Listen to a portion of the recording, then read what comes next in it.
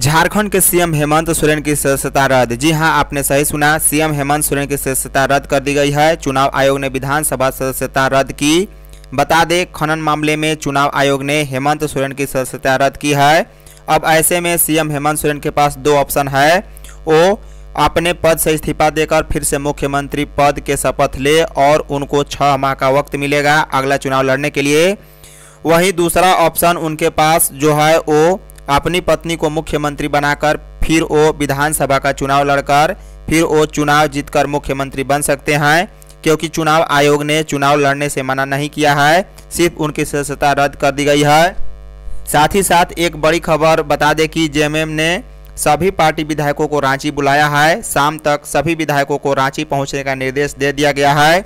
सूत्रों के अनुसार, जैसे ही राज्यपाल के हाथों सदस्यता रद्द करने की कॉपी, सीएम हेमंत सोरेन को मिलेगी वैसे ही सीएम हेमंत सोरेन राजभवन जाएँगे और वो अपना इस्तीफा देंगे।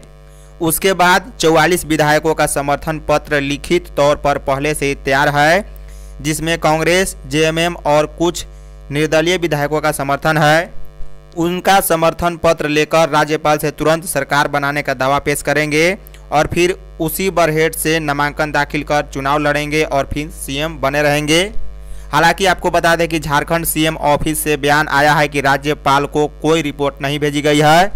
चुनाव आयोग ने राज्यपाल को कोई रिपोर्ट नहीं भेजी है। इस तरह के खबरें बेबुनियाद हैं। बीजेपी का नेता झूठ बोल रहे हैं। ऐसे में हमें आप कमेंट कर अवश्य बताएँ कि झारखंड का अगला सीएम कौन होना चाहिए। धन्यवाद।